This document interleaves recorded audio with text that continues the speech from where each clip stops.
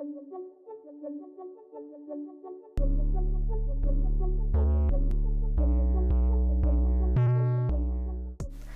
everyone and welcome to your mat today. My name is Jillian and I will be your yoga instructor for this yoga sequence. So hop into some comfy clothing, grab your mat, a bottle of water, and let's get ready to flow. Okay, so let's just begin in a nice, easy, seated, comfortable position. Whatever that looks like for you. We'll settle in here, start to connect with our breath. Maybe our palms fall gently on the thighs, whatever's comfortable. And let's stack our spine nice and tall, head over heart, heart over pelvis. And take a deep breath in through the nostrils. Nice and cleansing deep breath. And exhale, soften out through the mouth. Option to close the eyes, tuning inward. One more deep breath in, sending the breath all throughout the body, Exhale, soften, releasing tension, rooting down through the sit bones. We're going to breathe in, reach those arms up, lengthen through the side bodies. And exhale, coming into a gentle twist. We're going to rotate the chest toward the right. That right palm will come behind us to support, and we'll open up. Maybe the gaze comes over towards the right shoulder. Sitting up nice and tall, deep breath in. Exhale, soften, maybe sink a little bit deeper. Nice and gentle here, don't take it too hard.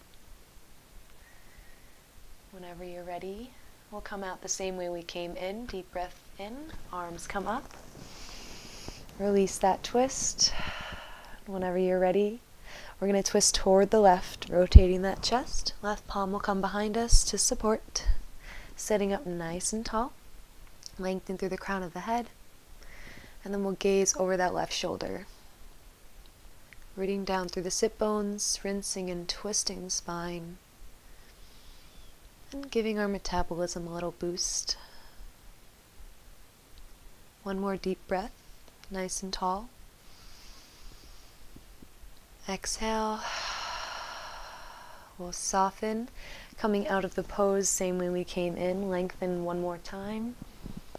And exhale, arms back down towards our sides, neutral spine. From here, we'll come into our cat and cow series. So, coming into a tabletop position on our hands and our knees. A nice neutral spine, flat back, wrist under shoulders, knees under hips. We're going to move through our cat and cows, so if you know what that looks like, go right ahead. Otherwise, I'll walk you through it. So, as we inhale, we drop the belly, drop the chest, gaze towards the sky. Deep breath in.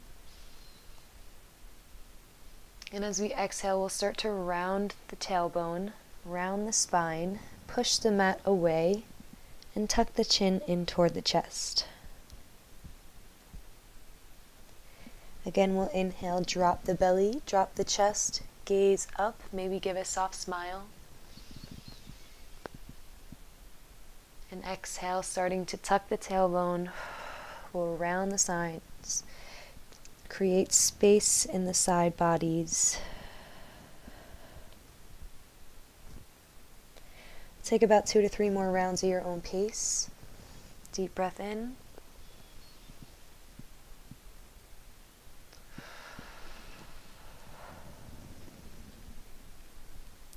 Moving with your body, getting that spine nice and warmed up from the inside out, and giving our internal organs a nice massage.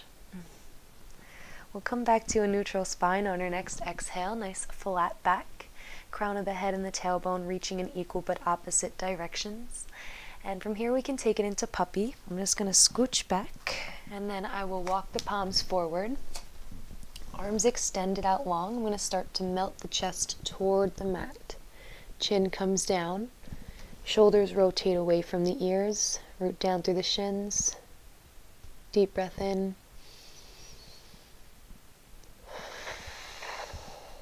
Opening through the chest, melting the heart forward. Lengthen through the side bodies.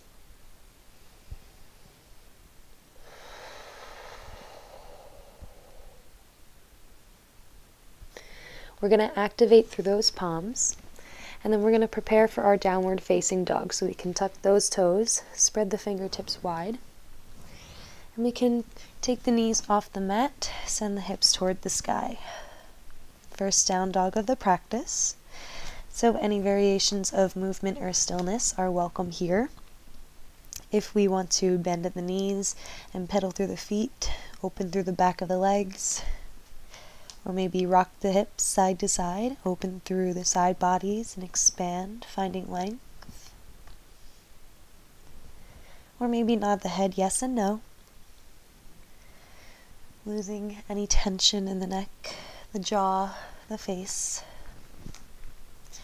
We'll send those hips toward the sky as the heels ground down. One more deep breath in.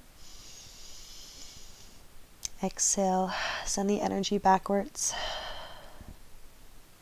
When you're ready, we're going to inhale, gaze between the palms, and we're slowly going to walk it up towards the top of our mat and find a forward fold.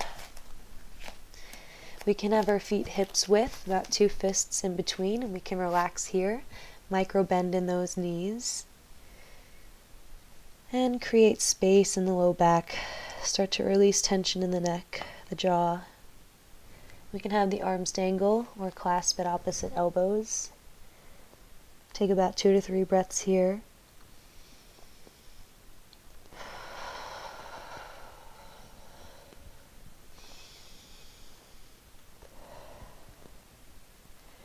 Whenever you're ready, root to rise. We're going to root down through those feet and slowly come all the way up to stand. Maybe reach the arms towards the sky. Deep inhale. And exhale, we'll bring those arms back down towards the sides. Take a moment here in a mountain pose. Nice and strong, rooted through those feet.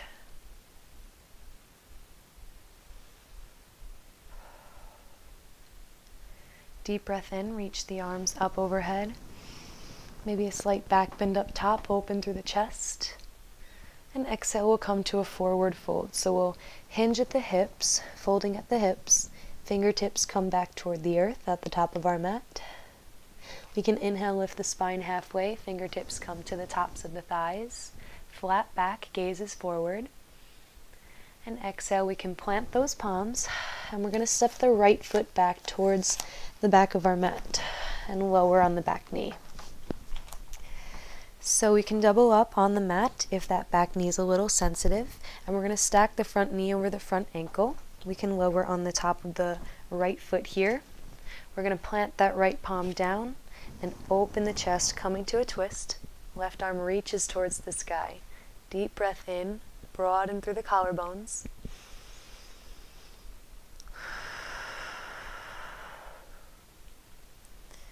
Soften through the jaw, soften through the face, maybe give a soft smile. And exhale, we'll plant that left palm back down, framing the foot. We can come up on the back toes, come up off the back knee, maybe rock forward and backwards.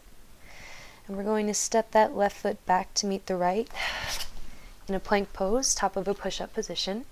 Hug the inner thighs towards one another, engage the core, shift the weight forward, and move through your vinyasa. So, chaturanga to up dog or to cobra. Wherever you are, we'll all meet in our downward facing dog. So we'll send the hips up toward the sky and meet in the down dog, rooting down through all 10 fingers, spread nice and wide. Loosen in the neck. When you're ready, gaze between the palms, coming up on the toes. We'll bend the knees. And when you're ready, we're going to hop it up towards our palms at the top of our mat. Deep breath in. Exhale, hop. Land nice and light at the top of our mat. Nice forward fold here. Deep breath in.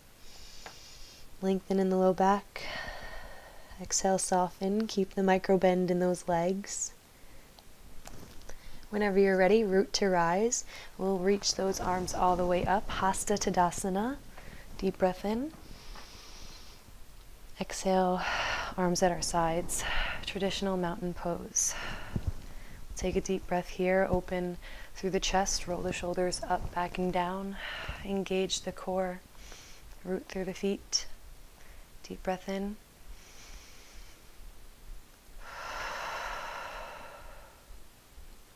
Inhale, reach the arms up, lengthen. Exhale, forward fold, fingertips to the earth. Inhale, lift the spine halfway, flat back, gazes forward, weight is in the toes.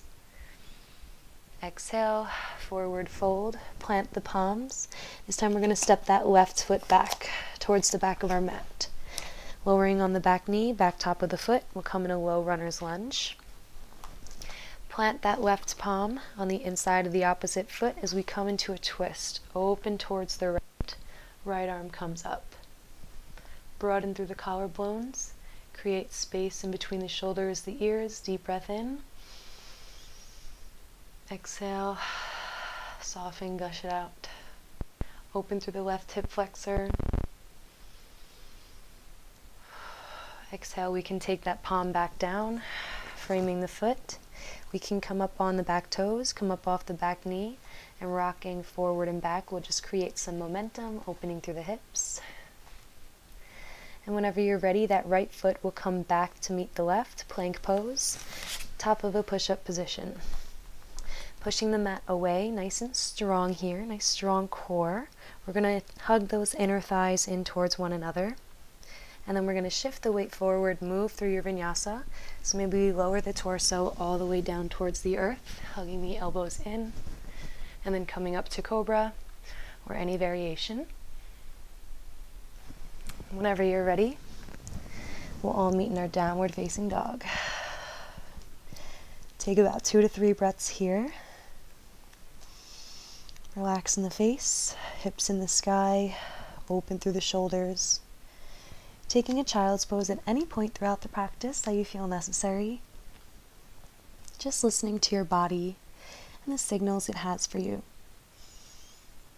So from here, we're going to inhale, lift that right leg parallel with the earth, so halfway. We're going to bend at that knee and step it up. We're going to step it up on the outside edge of the right foot, kind of on the edge of the mat. We're going to point the toes at a 45 degree angle outward. And then we're just going to do the same exact thing with that left foot. So we're going to come into our Malasana squat, yogi squat, by setting those hips down. If this is too much for you, we can always roll up the mat, creating some foundation for our heels. We can add a blanket, a block underneath our sacral bones. So we're going to relax here in our Malasana yogi squat. We can take our hands to a prayer going to open through the hip joints. Maybe we ground down through the heels and engage the glutes slightly. Open through the collarbones, lengthen through the crown of the head.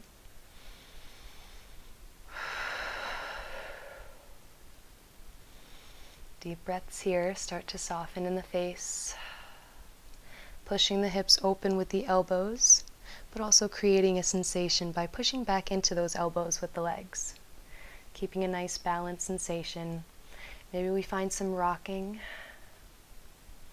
Lengthen in the low back. Take one more deep inhale here. Inhale through the nostrils. Send the breath wherever you need it. Exhale, gush it out through the mouth. We can take those fingertips out in front or behind because we're going to come back into a seated position. So sit bones back to the earth. We can take those legs and extend them out long. And here we're just going to take that right leg and just bend at the knee. Taking the right foot, we're going to plant it on the outer edge of that left thigh, so the opposite thigh. Right palm will come back behind to support as left arm reaches up towards the sky. Lengthen. Deep inhale. Exhale, bend the elbow, twisting towards the right. Lengthening through the crown of the head, we'll inhale deeply into the center of the belly.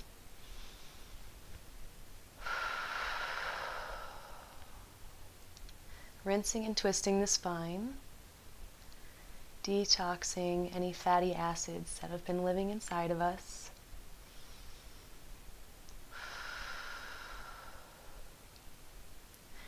Whenever you're ready, we'll release the twist, coming out the same way we came in, left arm up, and coming back around and behind us. We'll release that leg and extend it back out long. do the same thing for the opposite side with that left leg. bend at the knee, and plant it on the outer edge of the opposite thigh. Left palm comes behind to support. And we're going to take that right arm all the way up towards the sky. Lengthen, deep inhale. And exhale, twisting towards the left.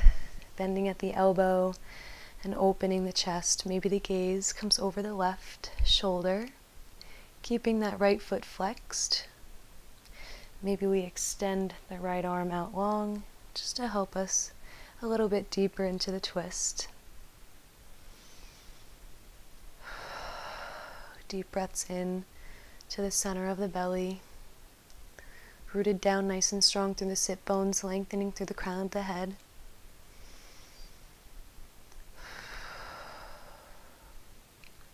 Coming out the same way we came in, reach that arm up. And exhale, right arm will come back down and around, planting it down. We'll extend that left leg out long once again. And from here we can take it onto our backs. So I'm going to scooch a little forward and coming onto the back. Our legs will be extended out long, however, I'm just going to take that right leg and hug it in towards the chest, hugging the knee to the chest. Wrap my arms around the shin. We'll keep both feet flexed. Maybe we can just relax here. Opening through the hip flexors. Maybe we create some movement, rocking side to side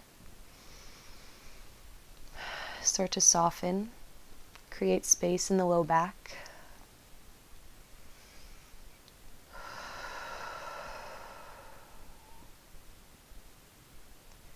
Whenever you're ready, we'll swap legs, extend through the right, and take that left knee to chest.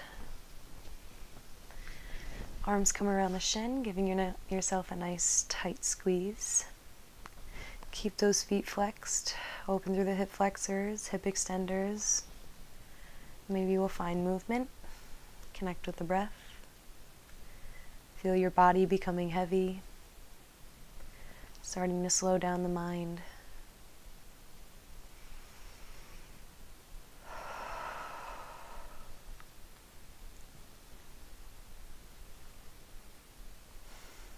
Whenever you're ready, We'll release that leg, extend it out long. And from here we can come into our happy baby. So we'll bend both of those knees, soles of the feet to the earth. And then from here we can just take those knees and hug them in towards the armpits, just a little bit. Rooting that tailbone down nice and strong. Maybe we're okay here and we already feel it in the hip joints. Maybe we can find some movement we want to take it further, soles of the feet will come towards the sky, and we can grab the inside or the outside edge of those feet. We'll let gravity do its work, letting our arms hang heavy, knees falling in towards the chest area. The neck and the tailbone both rooted down nice and strong. Connect with your breath. Open through the hip joints. Start to soften in the face. Feel your body melting into the mat. One more deep breath in our happy baby. Maybe rocking side to side if it feels good.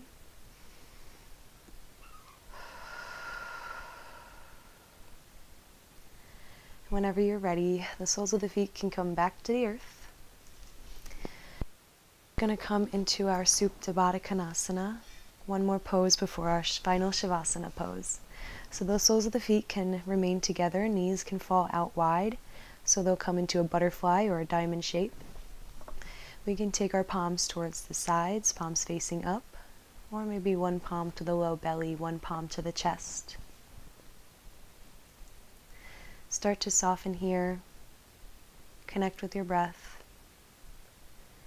Let gravity do its work. Let your knees start to hang heavy, open through the hip joints. Start to soften in the face.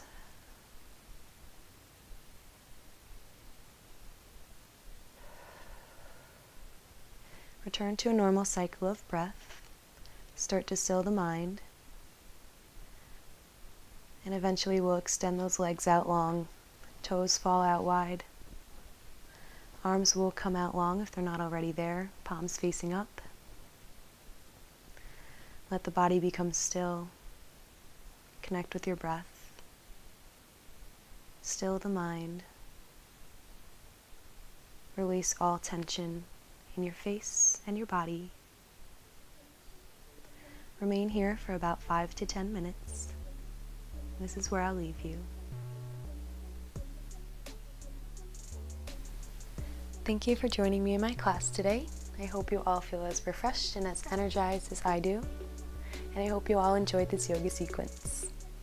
If you did, please like and subscribe. And I hope to see you all soon. Namaste.